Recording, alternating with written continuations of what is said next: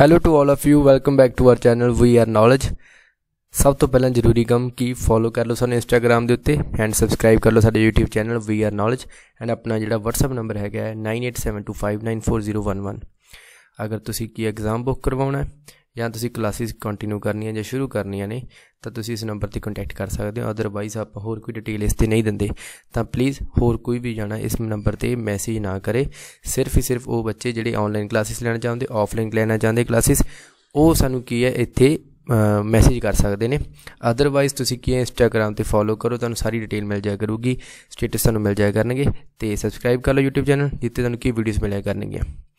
ਅੱਜ ਦਾ ਜਿਹੜਾ ਮੁੱਦਾ ਆਪਾਂ ਉਹ ਸ਼ੁਰੂ ਕਰਦੇ ਹਾਂ ਪਹਿਲਾਂ। ਹਾਂਜੀ, ਅੱਜ ਦਾ ਆਪਣਾ ਜਿਹੜਾ ਖਾਸ ਟੌਪਿਕ ਇਹੀ ਹੈ ਕਿ ਪੀਟੀ ਦੇ ਵਿੱਚ ਜਿਹੜੀ ਜਿਹੜੀ ਵਕੈਬ ਯੂਜ਼ ਕੀਤੀ ਜਾਂਦੀ ਹੈ, ਆਪਾਂ ਉਹ ਵਕੈਬ ਕਰਨੀ ਹੈ। ਪੀਟੀ ਦੇ ਵਕੈਬ ਸਪੈਸ਼ਲ ਹੈ। ਇਹ ਵੀਡੀਓ ਜਿਹੜੀ ਮੈਂ ਕਰ ਰਿਹਾ ਇਸ ਕੀ ਇੱਕ ਟਿਊਟੋਰੀਅਲ ਵਾਸਤੇ ਜਾਂ ਡੈਮੋ ਵਾਈਜ਼ ਤੁਸੀਂ ਕੀ ਦੇਖੋ। ਅਗਰ ਤੁਹਾਨੂੰ ਲੱਗਿਆ ਕਿ ਇਸ ਚੀਜ਼ ਦੇ ਵਿੱਚ ਤੁਹਾਨੂੰ ਸਮਝ ਆ ਰਿਹਾ ਜਾਂ ਤੁਸੀਂ ਅੱਖਰ ਇਸ ਤਰੀਕੇ ਨਾਲ ਹੋਰ ਨੋਟ ਕਰਨਾ ਚਾਹੁੰਦੇ ਹੋ ਤਾਂ ਆਪਾਂ ਹੋਰ ਵੀਡੀਓਜ਼ ਅਪਲੋਡ ਕਰ ਦਾਂਗੇ ਇਸੇ ਟਾਈਮ ਦੇ ਉੱਤੇ। ਅੱਛਾ, ਤੁਹਾਨੂੰ ਲੱਗਿਆ ਚੰਗੀ, ਤਾਂ ਸਾਨੂੰ ਕਮੈਂਟ ਕਰਕੇ ਲਾਈਕ ਕਰਕੇ ਸ਼ੇਅਰ ਕਰਕੇ ਜਰੂਰ ਦੱਸਿਓ। ਠੀਕ ਹੈ? ਅਗਰ ਤੁਹਾਨੂੰ ਵਧੀਆ ਲੱਗਿਆ, ਆਪਾਂ ਜਰੂਰ ਹੋਰ ਇਹ ਜਿਹੀਆਂ ਵੀਡੀਓਜ਼ ਅਪਲੋਡ ਕਰਾਂਗੇ, ਜਿਹਦੇ ਵਿੱਚ ਆਪਾਂ ਜੋ ਕਰਨ ਜਾ ਰਹੇ ਹਾਂ ਨਾਲ ਨਾਲ ਦੇਖੀ ਚੱਲੋ। ਜਿਵੇਂ ਕਿ ਆਪਾਂ ਕੀ ਹੈ ਕੁਝ ਕੁ ਵਰਡਸ ਕਰਾਂਗੇ, ਜਿਹੜੇ ਕਿ ਪੀਟੀ ਦੀ ਰੀਡਿੰਗ ਦੇ ਵਿੱਚ, ਜਾਂ ਕਿਤੇ ਆਪਾਂ ਸਮਝ ਲਓ ਫਿਲਿੰਦੀ ਬਲੈਂਕਸ ਹੋਣਗੇ ਲਿਸਨਿੰਗ ਵਾਲੇ ਜਾਂ ਫਿਰ ਰੀਡ ਅਲਾਊਡ ਕੁਝ ਵੀ ਇਸ ਤਰੀਕੇ ਦੇ ਜਿਹੜੇ ਵਰਡਸ ਜਿਹੜੇ ਇਹਦੇ ਪੀਟੀ ਵਿੱਚ ਇਨਕਲੂਡ ਹੋਣਗੇ। ਆਪਾਂ ਉਹ ਵਰਡਸ ਕੀ ਹੈ ਥੋੜੇ ਥੋੜੇ ਕਰਕੇ ਆਪਾਂ ਨੂੰ ਮੀਨਿੰਗ ਲਿਖ ਲਿਆ ਕਰਾਂਗੇ। ਯਾਦ ਰੱਖਿਓ ਪੀਟੀ ਦੀ ਰੀਡਿੰਗ ਹੈ ਜਿਹੜੀ ਉਹ ਜ਼ਿਆਦਾਤਰ ਵਕੈਬ ਦੇ ਉੱਤੇ ਬੇਸਡ ਹੁੰਦੀ ਹੈ ਜਾਂ ਸੈਂਸ ਦੇ ਉੱਤੇ। ਅਗਰ ਤੁਹਾਨੂੰ ਵਕੈਬ ਦੇ ਅੱਖਰ, ਤੁਹਾਨੂੰ ਮੀਨਿੰਗ ਪਤਾ ਹੋਣਗੇ, ਤਾਂ ਤੁਸੀਂ ਕੀ ਕਰ ਸਕਦੇ ਹੋ, ਜਲਦੀ ਰੀਡਿੰਗ ਦੇ ਆਨਸਰ ਲਗਾ ਸਕਦੇ ਹੋ। ਤਾਂ ਚਾਹੇ ਤੁਸੀਂ ਸਮਝੋ ਕਿ ਅੱਜ ਰੀਡਿੰਗ ਬਾਰੇ ਦੱਸ ਰਿਹਾ ਮੈਂ, ਚਾਹੇ ਐ ਸਮਝੋ ਵਕੈਬ ਬਾਰੇ। ਪਰ ਤੁਸੀਂ ਕੀ ਹੈ ਵਰਡਸ ਨੂੰ ਨੋਟ ਕਰਨਾ ਹੈ। ਜਿੰਨਾ ਜ਼ਿਆਦਾ ਵਰਡਸ ਨੂੰ ਨੋਟ ਕਰੋਗੇ, ਲਿਖੋਗੇ, ਯਾਦ ਕਰੋਗੇ ਪੜੋਗੇ ਤੁਹਾਡੀ ਰੀਡਿੰਗ ਵਧੀਆ ਹੋ ਜਾਊਗੀ। ਪਲੱਸ ਤੁਹਾਡੇ ਕੀ ਹੈ ਰੀਡ ਅਲਾਉਡ ਵਧੀਆ ਹੋਣਗੇ ਰਿਪੀਟ ਸੈਂਟੈਂਸ ਵਧੀਆ ਹੋਣਗੇ, ਜਾਂ ਪੀਟੀ ਵਿੱਚ ਜੋ ਚੀਜ਼ਾਂ ਵੀ ਨੇ, ਸਾਰੀਆਂ ਤਰੀਕੇ ਨਾਲ ਵਧੀਆ ਹੋਣਗੀਆਂ। ਜਾਂ ਤੁਹਾਡੀ ਜ਼ਿੰਦਗੀ ਦੇ ਵਿੱਚ ਵੀ ਕੀ ਹੈ, ਕਿਤੇ ਕੋਈ ਬੋਲਦਾ, ਸੁਣਦੇ ਆ, ਦੇਖਦੇ ਆ ਕਿਤੇ ਆਪਾਂ ਅੱਖਰਾਂ ਨੂੰ ਇੰਗਲਿਸ਼ ਦੇ ਅੱਖਰਾਂ ਨੂੰ ਜਲਦੀ ਹੀ ਕੈਚ ਕਰ ਸਕੋਗੇ। ਤਾਂ ਤੁਸੀਂ ਕੀ ਹੈ, ਇਹ ਵਕੈਬ ਨੂੰ ਨੋਟ ਕਰਨਾ ਨਾ ਭੁੱਲਿਓ। ਜੋ ਵੀਡੀਓ ਦੇਖ ਰਿਹਾ ਹੈ ਪਲੀਜ਼ ਨਾਲ ਕੀ ਕਾਪੀ ਪੈਨ ਨਾਲ ਰੱਖੋ। ਤੇ ਇਸ ਦੇ ਜਿਹੜੇ ਵਰਡਸ ਹੋਣਗੇ ਵਕੈਬ ਹੋਊਗੀ ਨੋਟ ਰੱਖੋ। ਆਪਣੇ ਇੱਕ ਚਾਰਟ ਲੈ ਲਓ, ਉਹਦੇ ਤੇ ਲਿਖਣਾ ਸਟਾਰਟ ਕਰ ਦਿਓ। ਅਗਰ ਵੀਡੀਓ ਚੰਗੀ ਲੱਗੀ ਤਾਂ ਲਾਈਕ ਸ਼ੇਅਰ ਐਂਡ ਕਮੈਂਟ ਜ਼ਰੂਰ ਕਰਿਓ। ਪਲੱਸ ਅਗਰ ਤੁਹਾਨੂੰ ਲੱਗੇ ਇਸ ਤਰੀਕੇ ਦੀ ਵੀਡੀਓਜ਼ ਹੋਰ ਚਾਹੀਦੀਆਂ ਨੇ ਤਾਂ ਮੈਨੂੰ ਕਮੈਂਟ ਕਰਕੇ ਜ਼ਰੂਰ ਦੱਸਿਓ। ਆਪਾਂ ਰੋਜ਼ ਅਪਲੋਡ ਕਰਦਿਆ ਕਰਾਂਗੇ। ਆਪਾਂ ਨੂੰ ਕੋਈ ਇਸ਼ੂ ਨਹੀਂਗਾ ਆਪਣੇ ਕੋਲ ਕੈਬ ਬਹੁਤ ਹੈ ਤੇ ਆਪਾਂ ਤੁਹਾਨੂੰ ਕੀ ਵਧੀਆ ਤਰੀਕੇ ਨਾਲ ਸਮਝਾ ਵੀ ਸਕਦੇ ਹਾਂ। ਤਾਂ ਮੈਂ ਟਰਾਈ ਕਰਦਾ ਕਿ ਤੁਹਾਨੂੰ ਕੀ ਹੈ, ਜਿਹੜੇ ਕੁਝ ਕੁ ਵਰਡਸ ਦੱਸਾਂ। ਅਗਰ ਚੰਗਾ ਲੱਗੇ ਤਾਂ ਦੱਸਿਓ। ਜਿਵੇਂ ਕਿ ਆਪਾਂ ਸਟਾਰਟ ਕਰਦੇ ਹਾਂ। ਚਲੋ, ਅੱਜ ਦਾ ਆਪਾਂ ਜਿਹੜਾ ਪਹਿਲਾ ਵਰਡ ਹੈ, ਆਪਾਂ ਉਹਨੂੰ ਕੰਟੀਨਿਊ ਕਰਦੇ ਹਾਂ। ਫਰਸਟ ਵਰਡ ਕੀ ਹੈ ਆਪਣੇ ਕੋਲ? ਇੰਗਲਿਸ਼ ਦੇ ਵਿੱਚ ਪਹਿਲਾ ਵਰਡ ਆ ਰਿਹਾ ਆਪਣੇ ਕੋਲ ਸੋਰਸਿਸ ਸੋਰਸਿਸ ਇਹਨੂੰ ਬੋਲਣਾ ਕੀ ਆਪਾਂ? ਸੋਰਸਿਸ ਯਾਦ ਰੱਖਿਓ, ਨਾਲ ਨਾਲ ਕੀ ਹੈ? ਰੀਡ ਅਲਾਉਡ ਦੀ ਵੀ ਤਿਆਰੀ ਹੋ ਰਹੀ ਹੈ ਆਪਣੀ ਰੀਡਿੰਗ ਦੀ ਵੀ ਹੋ ਰਹੀ ਹੈ, ਜਾਂ ਜੋ ਬਾਕੀ ਚੀਜ਼ਾਂ ਨੇ ਆਪਣਾ ਪੀਟੀ ਦੇ ਵਿੱਚ, ਉਹ ਸਾਰੀਆਂ ਚੀਜ਼ਾਂ ਹੋ ਰਹੀਆਂ ਨੇ। ਅੱਛਾ, ਜਿਹੜੇ ਪੀਟੀ ਨਹੀਂ ਕਰ ਰਹੇ, ਉਹਨਾਂ ਨੇ ਸਿਰਫ ਘਰੇ ਬਹਿ ਕੇ ਵਕੈਬ ਸਿੱਖਣੀ ਹੈ। ਉਹਨਾਂ ਵਾਸਤੇ ਤਾਂ ਹੋਰ ਜ਼ਿਆਦਾ ਵਧੀਆ, ਜਿਨੇ ਕਿ ਬੇਸਿਕ ਕਰ ਰਹੇ ਨੇ ਜਾਂ ਕਿ ਗ੍ਰਾਮਰ ਸਿੱਖਣਾ ਚਾਹੁੰਦੇ ਨੇ, ਉਹਨਾਂ ਲਈ ਤਾਂ ਇਹ ਵਕੈਬ ਬਹੁਤ ਹੀ ਜ਼ਿਆਦਾ ਕਿ ਇਫੈਕਟਿਵ ਹੋਊਗੀ। ਤਾਂ ਤੁਸੀਂ ਵਕੈਬ ਹੈ ਜਾਂ ਕੋਈ ਘਰੇ ਬੈਠੇ ਹੋ ਫ੍ਰੀ ਹੋ, ਤੁਸੀਂ ਕਈ ਘਰੇ ਬਹਿ ਕੇ ਵੀ ਇਹ ਚੀਜ਼ਾਂ ਨੂੰ ਨੋਟ ਕਰਦੇ ਰਹੇ ਹੋ, ਤਾਂ ਤੁਹਾਡੀ ਬੁੱਕ ਰੀਡਿੰਗ ਬਹੁਤ ਵਧੀਆ ਹੋ ਜੂਗੀ ਤਾਂ ਬੇਸਿਕ ਵਾਸਤੇ ਵੀ ਜਾਂ ਕੋਈ ਸਪੀਕਿੰਗ ਕਰਨਾ ਜਾ ਰਿਹਾ, ਤਾਂ ਉਸ ਚੀਜ਼ਾਂ ਵਾਸਤੇ ਬਹੁਤ ਵਧੀਆ ਹੈ। ਤਾਂ ਆਪਾਂ ਪਹਿਲਾ ਵਰਡ ਲੈ ਕੇ ਜਾ ਰਹੇ ਹਾਂ ਸੋਰਸਿਸ ਵਰਡ ਸੋਰਸਿਸ ਦਾ ਮੀਨਿੰਗ ਕੀ ਹੈ? ਅਗਰ ਪੰਜਾਬੀ ਵਿੱਚ ਨੋਟ ਕੀਤਾ ਜਾਵੇ, ਤਾਂ ਨਿੱਕੀ ਜੀ ਗੱਲ ਕੀ?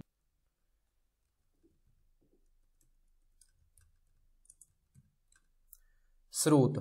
ਜਿਵੇਂ ਆਪਾਂ ਕਹਿੰਦੇ ਆ ਨਾ ਆ ਸਰੋਤਾਂ ਦੇ ਨਾਲ ਹੀ ਆਪਾਂ ਕੀ ਅੱਗੇ ਕੰਮ ਕਰ ਸਕਦੇ ਆ ਜਾਂ ਸਰੋਤਾਂ ਨੇ ਆਪਾਂ ਨੂੰ ਇਹ ਚੀਜ਼ ਬਾਰੇ ਦੱਸਿਆ। ਠੀਕ ਹੈ, ਉਹ ਵਾਲਾ ਵਰਡ ਹੈ ਇਹ ਸਰੋਤ। ਉਹ ਸੋਰਸਿਸ ਦਾ ਮੀਨਿੰਗ ਕੀ ਹੋ ਗਿਆ? ਸਰੋਤ। ਨੋਟ ਵੀ ਕਰੀ ਚਲੋ ਜਾਂ ਯਾਦ ਕਰਨ ਦਾ ਤਰੀਕਾ ਕੀ ਹੋ ਗਿਆ ਐਸ ਤੋਂ ਸ਼ੁਰੂ ਸ਼ੁਰੂ ਹੋ ਰਿਹਾ ਤੇ ਐਸ ਤੇ ਕੀ ਹੈ ਸੱਸੇ ਤੋਂ ਹੋ ਰਿਹਾ ਇਧਰ ਪੰਜਾਬੀ ਦੇ ਵਿੱਚ ਸੋਰਸਿਸ ਸਰੋਤ ਇੰਨਾ ਕੀ ਯਾਦ ਰੱਖੋ ਹਨਾ ਤੇ ਇਹਨੂੰ ਆਪਾਂ ਇੰਗਲਿਸ਼ ਦੇ ਵਿੱਚ ਜ਼ਿਆਦਾਤਰ ਕੀ ਕਰਿਆ ਕਰੋ ਜਦੋਂ ਵੀ ਤੁਸੀਂ ਕੀ मीनिंग ਕੱਢਣਾ ਹੋਵੇ ਲਿਖਣਾ ਹੋਵੇ ਤਾਂ ਤੁਸੀਂ ਟਰਾਈ ਕਰਿਆ ਕਰੋ ਕਿ ਕੋਈ ਵੀ ਅੱਖਰ ਦਾ मीनिंग ਡਿਕਸ਼ਨਰੀ ਗੂਗਲ ਤੋਂ ਦੇਖਣਾ ਹੈ ਤਾਂ ਉਹਨੂੰ ਇੰਗਲਿਸ਼ 'ਚ ਵੀ ਦੇਖਿਆ ਕਰੋ ਨਾਲ ਆਪਾਂ ਪੰਜਾਬੀ ਦਾ ਦੇਖ ਲਈ ਦੀ ਕੀ ਹੈ ਸੋਰਸਿਸ ਦੀ ਸਰੋਤ ਇਹਦੇ ਨਾਲ ਇਹ ਵੀ ਨੋਟ ਕਰੋ ਕਿ ਤੁਸੀਂ ਸਰੋਤ ਦੇ ਨਾਲ ਇੰਗਲਿਸ਼ ਕੀ ਹੋਊਗੀ ਇਹ ਵੀ ਲਿਖ ਲੈਣੇ ਆਪਾਂ a place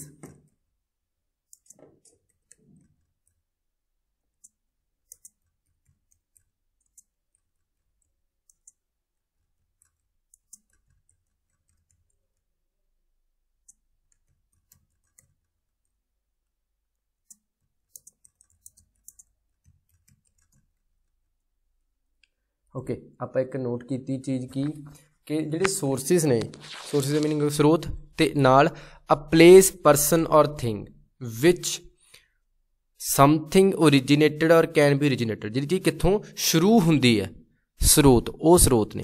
ਅੱਛਾ, ਇੱਕ ਸੁਣਿਆ ਹੋਣਾ ਤੁਸੀਂ, ਅਖਬਾਰਾਂ ਵਿੱਚ ਲਿਖਿਆ ਜਾਂਦਾ ਹੈ, ਸਰੋਤਾਂ ਦੇ ਅਨੁਸਾਰ, ਉਹ ਜਦੋਂ ਲਿਖਿਆ ਹੁੰਦਾ ਨਾ, ਸਰੋਤਾਂ ਦੇ ਅਨੁਸਾਰ ਜਾਂ ਸਰੋਤਾਂ ਬਾਰੇ, ਸਰੋਤਾਂ ਤੋਂ ਪਤਾ ਚੱਲਿਆ, ਉਹ ਸੋਰਸਿਸ ਆਹੀ ਹੁੰਦੇ ਨੇ। ਉਹਨੂੰ ਇੰਗਲਿਸ਼ ਕੀ ਸੋਰਸਿਸ ਹੀ ਕਹਿੰਦੇ ਨੇ। ਤਾਂ ਇਹ ਅੱਖਰ ਯਾਦ ਰੱਖਿਓ, ਅਖਬਾਰਾਂ 'ਚ ਵੀ ਮਿਲਦਾ ਆਪਾਂ ਨੂੰ। ਤੇ ਜਦੋਂ ਵੀ ਤੁਸੀਂ ਘਰੇ ਗੱਲ ਕਰਨੀ ਹੈ ਹਨਾ ਵੀ ਹਾਂ, ਤੈਨੂੰ ਚੀਜ਼ ਕਿਵੇਂ ਪਤਾ ਚੱਲੀ ਹੈ? ਤੈਨੂੰ ਇਹ ਚੀਜ਼ ਬਾਰੇ ਨੌਲੇਜ ਕਿਵੇਂ ਆਈ ਹੈ? ਤਾਂ ਤੁਸੀਂ ਕਹੋਗੇ ਮੈਨੂੰ ਕੁਝ ਸੋਰਸਿਸ ਬਾਰੇ ਪਤਾ ਸੋਰਸਿਸ ਤੋਂ ਪਤਾ ਚੱਲਿਆ ਤਾਂ ਉਹਨਾਂ ਨੇ ਸਾਨੂੰ ਆ ਦੱਸਿਆ, ਹਨਾ। ਤਾਂ ਇਹ ਅੱਖਰ ਇਹੋ ਜਿਹੇ ਤਰੀਕੇ ਨਾਲ ਯੂਜ਼ ਕਰ ਸਕਦੇ ਹੋ। ਅਸੀਂ ਆਪਾਂ ਨੈਕਸਟ ਵਰਡ ਦੇ ਅੱਗੇ ਵਧਦੇ ਹਾਂ। ਜੀ ਸੈਕੰਡ ਵਰਡ ਆ ਗਿਆ ਆਪਣੇ ਕੋਲ।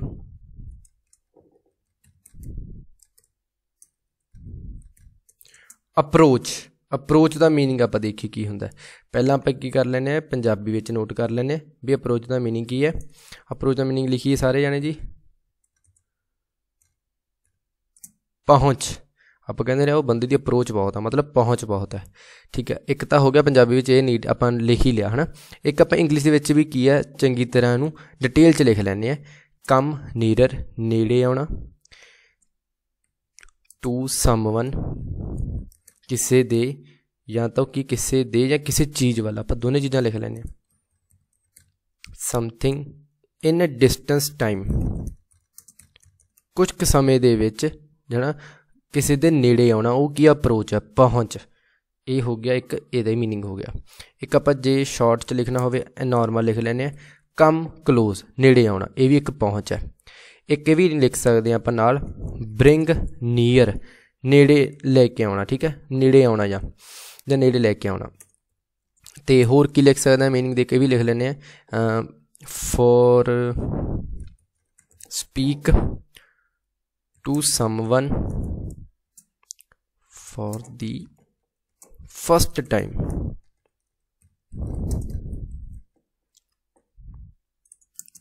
Thank you.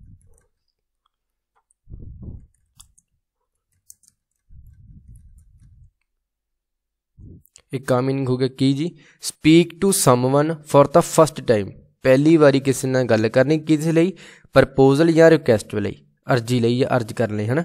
ਤਾਂ ਉਦੋਂ ਆਪਾਂ ਯੂਜ਼ ਕਰ ਸਕਦੇ ਹਾਂ ਇਹ ਅਪਰੋਚ ਵਰਡ ਕਿ ਉਹ ਬੰਦੇ ਨੂੰ ਅਸੀਂ ਅਪਰੋਚ ਕਰਨਾ ਚਾਹ ਰਹੇ ਹਾਂ ਉਸ ਨੂੰ ਮਿਲਣਾ ਚਾਹ ਰਹੇ ਹਾਂ, ਠੀਕ ਹੈ? ਉਦੋਂ ਵੀ ਇਹ ਵਰਡ ਯੂਜ਼ ਕੀਤਾ ਜਾ ਸਕਦਾ ਹੈ। ਇੱਕ ਆਪਾਂ ਆ ਵੀ ਕਰ ਸਕਦੇ ਹਾਂ ਕਿ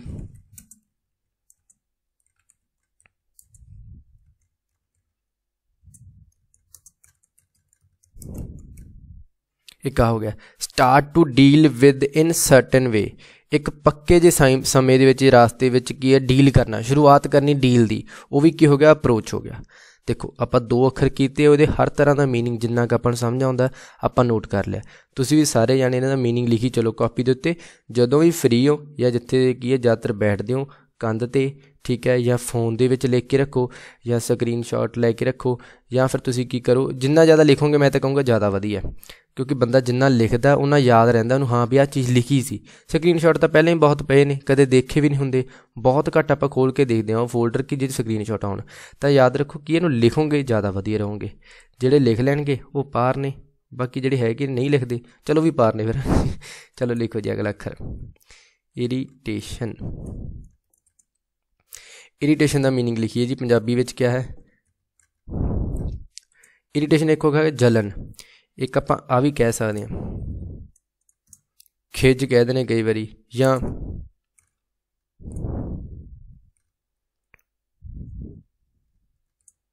ਚਿੜਚਿੜਾਪਨ ਆ ਜਾਂਦਾ ਹੈ ਨਾ ਇਰੀਟੇਸ਼ਨ ਇਰੀਟੇਸ਼ਨ ਉਹਦੇ ਪਰੇਸ਼ਾਨ ਵੀ ਕਹਿ ਸਕਦੇ ਹਾਂ ਜਿਵੇਂ ਆਪਾਂ ਇਹ ਸਾਰੇ ਵਰਡ ਇਹਦੇ ਵਿੱਚ ਆ ਸਕਦੇ ਇਰੀਟੇਸ਼ਨ ਦੇ ਵਿੱਚ ਠੀਕ ਹੈ ਹੁਣ ਆਪਾਂ ਇੰਗਲਿਸ਼ ਦੇ ਵਿੱਚ ਵੀ ਨਾਲ ਨੋਟ ਕਰ ਲਈਏ ਕਿ ਇੰਗਲਿਸ਼ 'ਚ ਮੀਨਿੰਗ ਕੀ ਬਣ ਸਕਦਾ ਇਹਦਾ।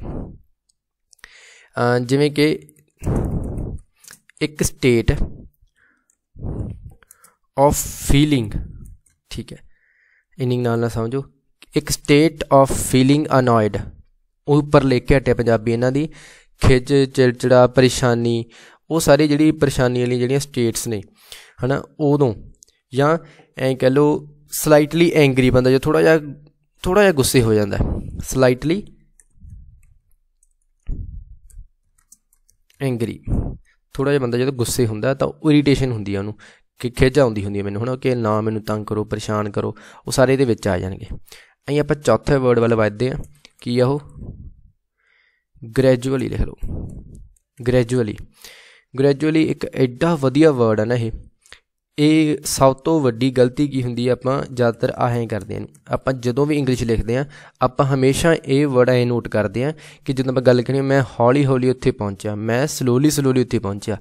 ਵਰਡ ਹੀ ਹੈ ਨਹੀਂ ਕੋਈ ਇੰਗਲਿਸ਼ ਦੇ ਵਿੱਚ ਸਲੋਲੀ ਸਲੋਲੀ ਤਾਂ ਹਮੇਸ਼ਾ ਕੀ ਇਹਨੂੰ ਸਲੋਲੀ ਇੱਕ ਵਾਰੀ ਲਿਖਿਆ ਜਾਣਾ ਚਾਹੀਦਾ ਅੱਛਾ ਗੱਲ ਆਪਾਂ ਸੋਚ ਲੈਂਦੇ ਮੈਂ ਹੌਲੀ ਹੌਲੀ ਪਹੁੰਚਿਆ ਉੱਥੇ, ਤਾਂ ਉੱਥੇ ਆਪਾਂ ਕੀ ਹੈ ਸਲੋਲੀ ਇੱਕ ਵਾਰੀ ਪਾਉਣਾ ਚਾਹੀਦਾ ਆਪਾਂ ਨੂੰ।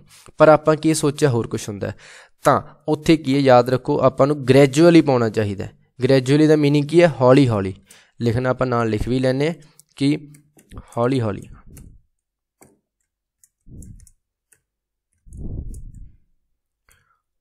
ਹੌਲੀ ਹੌਲੀ। ਚਲੋ, ਇਹ ਵੀ ਲਿਖ ਲਿਆ ਆਪਾਂ। ਨਾਲ ਆਪਾਂ ਫਿਫਥ ਵਰਡ ਤੇ ਵੀ ਆਉਨੇ ਆ ਵਰਜਨਿੰਗ ਬਹੁਤ ਵਧੀਆ ਵਰਡ ਹੈ। ਇਹਦਾ ਮੀਨਿੰਗ ਕੀ ਆਪਾਂ ਉਹ ਵੀ ਲਿਖ ਲਈਏ। ਵਧਣਾ, ਬਹੁਤ ਤੇਜ਼ੀ ਨਾਲ ਵਧਣਾ ਜੇ ਮਰਜ਼ੀ ਲਿਖ ਸਕਦੇ ਹਾਂ, ਵਧਣਾ ਇਹਦਾ ਮੀਨਿੰਗ ਚਲੋ ਆਪਾਂ ਇੰਗਲਿਸ਼ ਵੀ ਨਾਲ ਲਿਖ ਲਈ ਇਹਦਾ ਮੀਨਿੰਗ ਕੀ ਹੈ? ਬਰਜਨਿੰਗ ਯਾਦ ਰੱਖੋ, ਨਾਲ ਨਾਲ ਮੈਂ ਦੱਸ ਵੀ ਬੋਲਣਾ ਕਿਵੇਂ ਬਰਜਨਿੰਗ ਬਰਜਨਿੰਗ ਦਾ ਮੀਨਿੰਗ ਕੀ ਹੁੰਦਾ ਨਾਲ ਇੱਕ ਤਾਂ ਲਿਖ ਲਿਆ ਵਧਣਾ, ਨਾਲ ਇਹ ਵੀ ਲਿਖੋ। ਬਿਗਨਿੰਗ ਟੂ ਗਰੋ ਉਹੀ ਮੀਨਿੰਗ ਬਣਿਆ ਕਿ ਵਧਣਾ ਹੀ ਹੈ, ਬਸ ਇੰਗਲਿਸ਼ 'ਚ ਆਪਾਂ ਹੋਰ ਜ਼ਿਆਦਾ ਕਲੈਰਿਟੀ ਆ ਗਈ। ਜਾਂ ਇਨਕਰੀਜ਼ ਰੈਪਿਡਲੀ ਬਹੁਤ ਤੇਜ਼ੀ ਨਾਲ ਵਧਣਾ। ਰੈਪਿਡਲੀ ਦਾ ਮੀਨਿੰਗ ਕੀ ਹੁੰਦਾ? ਤੇਜ਼ੀ ਨਾਲ।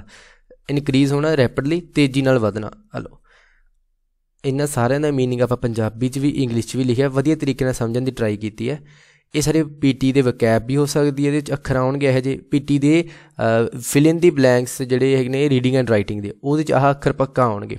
ਤਾਂ ਆਪਾਂ ਨੂੰ ਸੋਰਸਿਸ ਬਾਰੇ ਪਤਾ ਲੱਗ ਗਿਆ ਸਰੋਤਾਂ ਬਾਰੇ ਸਰੋਤ ਹੋਊਗੀ ਅਪਰੋਚ ਹੋਊਗੀ, ਪਹੁੰਚ ਬਾਰੇ ਪਤਾ ਲੱਗ ਗਿਆ, ਫਿਰ ਇਰੀਟੇਸ਼ਨ ਬਾਰੇ ਪਤਾ ਲੱਗ ਗਿਆ, ਫਿਰ ਗ੍ਰੈਜੂਅਲੀ ਹੌਲੀ ਹੌਲੀ ਕਿ ਆਪਾਂ ਜਿਹਨੂੰ ਸਲੋਲੀ ਕਹਿਣਾ ਤੇ ਗ੍ਰੈਜੂਅਲੀ ਨੋਟ ਕਰਿਆ ਕਰਾਂਗੇ। ਬਰਜਨਿੰਗ ਕੀ ਹੁੰਦਾ, ਵਧਣਾ ਹੁੰਦਾ, ਆਪਾਂ ਨੂੰ ਉਹ ਵੀ ਚੀਜ਼ ਪਤਾ ਲੱਗ ਗਈ। ਤਾਂ ਆਪਾਂ ਨੂੰ ਇਹ ਅੱਖਰ ਤਾਂ ਪਤਾ ਲੱਗ ਰਹੇ ਨੇ, ਜਿਹੜੇ ਵਧੀਆ ਤਰੀਕੇ ਨਾਲ ਆਪਾਂ ਨੂੰ ਪਤਾ ਲੱਗੇ, ਪੰਜਾਬੀ 'ਚ ਵੀ ਇੰਗਲਿਸ਼ 'ਚ ਵੀ। ਇੰਗਲਿਸ਼ ਥੋੜਾ ਜਿਹਾ ਕਲੈਰਿਟੀ ਲੈਣ ਪਤਾ ਲੱਗ ਗਿਆ ਆਪਾਂ ਨੂੰ। ਸ਼ੁਰੂਆਤ ਹੋ ਰਹੀ ਹੈ ਵਧਣ ਦੀ, ਜਾਂ ਗਰੋ ਹੋ ਰਹੀ ਹੈ, ਤਾਂ ਉਹ ਕੀ ਹੋਗਾ ਵਧਣਾ। ਇਹ ਨੋਟ ਹੋ ਗਿਆ ਆਪਾਂ ਨੂੰ ਅੱਖਰ। ਅੱਛਾ ਇੰਨੇ ਕੀ ਅੱਖਰ ਕਰਦੇ ਇੱਕ ਵਾਰੀ ਪੰਜ। ਆਪਾਂ ਇੱਕ ਵਾਰੀ ਡੈਮੋ ਵਾਸਤੇ ਲੈ ਕੇ ਚੱਲਦੇ ਹਾਂ। ਅਗਰ ਸਾਰੇ ਬੱਚਿਆਂ ਨੂੰ ਇਹ ਚੰਗਾ ਲੱਗਿਆ ਕਿ ਇਹ ਚੀਜ਼ ਵਧੀਆ ਸਾਨੂੰ ਅੱਖਰਾਂ ਬਾਰੇ ਪਤਾ ਲੱਗ ਰਿਹਾ ਜਾਂ ਅਸੀਂ ਨੋਟ ਕਰ ਰਹੇ ਹਾਂ ਘਰੇ, ਅਗਰ ਚੰਗਾ ਲੱਗਿਆ ਤਾਂ ਕਮੈਂਟ ਕਰਕੇ ਲਾਈਕ ਕਰਕੇ ਸ਼ੇਅਰ ਕਰਕੇ ਦੱਸੋ। ਆਪਾਂ ਹੋਰ ਇਹੋ ਜਿਹੀ ਵੀਡੀਓ ਬਣਾਇਆ ਕਰਾਂਗੇ। ਆਪਾਂ ਕੀ ਕਰਨੀ ਹੈ? ਵਕੈਬ ਜਿੰਨੀ ਆਪਣੇ ਕੋਲ ਆਪਣੇ ਕੋਲ ਤਕਰੀਬਨ ਜੱਲੇ ਸਿਰਫ ਹੀ ਸਿਰਫ ਰੀਡਿੰਗ ਐਂਡ ਰਾਈਟਿੰਗ ਦੇ ਵਿੱਚ ਫਿਲ ਦੀ ਬਲੈਂਕਸ ਨੇ, ਉਹਦੇ 800 ਵਰਡ ਤਾਂ ਆਪਣੇ ਕੋਲ ਲਿਖੇ ਪਏ ਨੇ। ਤਾਂ ਉਹ ਤਾਂ ਪੱਕੀ ਆਪਾਂ ਕੀ ਹੈ, ਇਹਦੇ ਉੱਤੇ ਵੀਡੀਓਜ਼ ਅਪਲੋਡ ਕਰ ਦਾਂਗੇ। ਤੇ ਕਿਸੇ ਨੇ ਪਲੀਜ਼ ਪੀਡੀਐਫ ਨਹੀਂ ਮੰਗਣੀ, ਆਪਾਂ ਕੀ ਕਰਾਂਗੇ? ਇੱਥੇ ਹੀ ਕਰਾਂਗੇ। ਤਾਂ ਜੋ ਕੀ ਹੈ, ਸਾਰੇ ਜਣੇ ਰਲ ਕੇ ਆਪਾਂ ਇੱਥੇ ਦੇਖ ਕੇ, ਲਿਖ ਕੇ ਕਰੀਏ। ਹਾਂ, ਹੁਣ ਦੇਖੋ ਸੋਰਸਿਸ ਬਾਰੇ ਪਤਾ ਲੱਗ ਗਿਆ, ਸਾਰੇ ਰਲ ਕੇ ਵੀਡੀਓ ਦੇਖ ਰਹੇ ਆ ਤਾਂ ਵਧੀਆ ਲੱਗਿਆ। ਅਪਰੋਚ ਬਾਰੇ ਪਤਾ ਲੱਗ ਗਿਆ। ਕਈ ਵਾਰੀ ਕੀ ਹੁੰਦਾ, ਲਿਖਿਆ ਤਾਂ ਬਹੁਤ ਕੁਝ ਪਿਆ, ਆਪਾਂ ਘਰੇ ਦੇਖਦੇ ਨਹੀਂ, ਪੜ੍ਹਦੇ ਨਹੀਂ। ਤਾਂ ਚਲੋ ਨਾਲ ਨਾਲ ਕਿ ਮੈਂ ਦੱਸ ਰਿਹਾ, ਸੁਣ ਕੇ ਤੁਸੀਂ ਕੀ ਨੋਟ ਕਰ ਲਿਆ। ਯਾਦ ਰੱਖੋ, ਇਹ ਪੀਟੀ ਦੀ ਵਕੈਬ ਵਾਸਤੇ ਵੀ ਕੰਮ ਆ ਸਕਦਾ, ਜਿਹੜੇ ਘਰੇ ਬਹਿ ਕੇ ਵੈਸੇ ਨਾਰਮਲੀ ਸਿੱਖਣਾ ਚਾਹੁੰਦੇ ਨੇ, ਉਹਨਾਂ ਵਾਸਤੇ ਵੀ ਬਹੁਤ ਇਫੈਕਟਿਵ ਹੈ। ਤਾਂ ਛੱਡੋ ਨਾ ਅੱਖਰਾਂ ਨੂੰ ਨੋਟ ਕਰੋ, ਲਿਖੋ ਚਾਰਟ ਤੇ ਲਿਖੋ ਪੇजेस ਤੇ ਲਿਖੋ A4 ਸ਼ੀਟਾਂ ਤੇ ਲਿਖੋ ਚਾਹੇ ਕਾਪੀ ਤੇ ਲਿਖੋ, ਜਿਵੇਂ ਮਰਜ਼ੀ ਕਰੋ। ਪਰ ਲਿਖੋ, ਜਿੰਨਾ ਲਿਖੋਗੇ ਉਨਾ ਜ਼ਿਆਦਾ ਯਾਦ ਰਹਿਣਗੇ ਅੱਖਰ। ਤਾਂ ਮੈਂ ਤਾਂ ਮੋਟੀਵੇਟ ਕਰ ਸਕਦਾ, ਪਰ ਤੁਸੀਂ ਕੰਮ ਕਰਨਾ ਹੈ ਤਾਂ ਲਿਖੋ ਜਿੰਨਾ ਲਿਖ ਸਕਦੇ ਹੋ, ਤੇ ਮਿਲਦੇ ਹਾਂ ਨੈਕਸਟ ਵੀਡੀਓ ਵਿੱਚ, ਤੇ ਦੱਸੋ ਮੈਨੂੰ ਜੇ ਚੰਗਾ ਲੱਗਿਆ, ਤਾਂ ਆਪਾਂ ਜ਼ਰੂਰ ਕਰਾਂਗੇ ਅੱਗੇ ਹੋਰ ਵੀਡੀਓਜ਼ ਲਾਈਕ ਕਰੋ ਸ਼ੇਅਰ ਕਰੋ ਕਮੈਂਟ ਕਰੋ, ਤੇ ਹਾਂ ਫੋਲੋ ਕਰਨਾ ਵੀ ਨਾ ਭੁੱਲਿਓ ਸਬਸਕ੍ਰਾਈਬ ਕਰਨਾ ਵੀ ਨਾ ਭੁੱਲਿਓ। ਤੇ ਆਪਾਂ ਮਿਲਦੇ ਹਾਂ ਨੈਕਸਟ ਵੀਡੀਓ ਦੇ ਵਿੱਚ। Bye bye